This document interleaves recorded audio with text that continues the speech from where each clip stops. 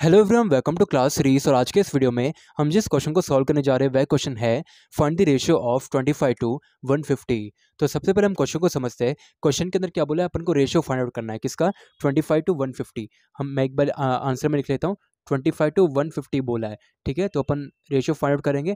आप देख सकते हैं दोनों सेम यूनिट्स में है तो अपन इजीली कैलकुलेट कर सकते हैं। तो ये ट्वेंटी फाइव तो फ़र्स्ट न्यूमरेटर आ जाएगा और नेक्स्ट नंबर डिनोमिनेटर में आ जाएगा ठीक है?